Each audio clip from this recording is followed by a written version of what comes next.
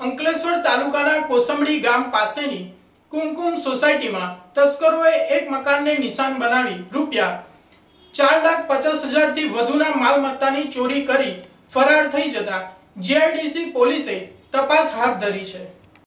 પ્રાપ્ત માહિતી મુજબ અંકલેશ્વર વાલિયા રોડ ઉપર આવેલ કોસંબડી ગામ ખાતેની કુમકુમ સોસાયટી મકાન નંબર બી એકસો ત્રેપનમાં રહેતા દિલીપસિંહ રાઠોડ રાત્રિ દરમિયાન નીચેનું મકાન બંધ કરી ઉપરના માળે સુવા ગયા હતા.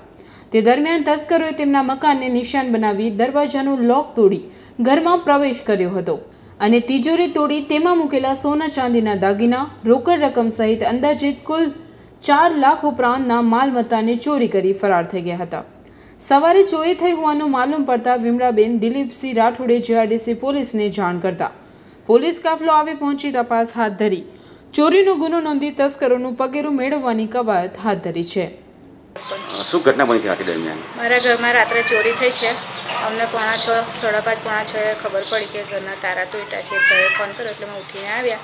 ત્યારે મારા ઘરના બધા જ તારા તોડેલા હતા અને ઘરનો બધો સામાન આમ તેમ ફેંકેલો હતો. કેટલાની ચોરી થઈ છે અંદાજિત? લગભગ સાત આઠ તોલા સોનું હશે છસો સાતસો ગ્રામ ચાંદી હશે અને પચાસ ને સાઠની વચ્ચેની કેશ હતી. અને બધા ડોક્યુમેન્ટ હતા. સ્ટેટ બેંકના બરોડા બેંકના ATM card PAN card passbook રાતે મેં ઘરમાં ન હતા ના અમે ઉપર સૂઈએ છીએ સાહેબ નીચે અમે ખાલી લોક મારીએ છીએ इस वीडियो को लाइक करें हमारे चैनल को सब्सक्राइब कर बेल आइकन जरूर प्रेस करें हमारी न्यू वीडियो सबसे पहले देखने के लिए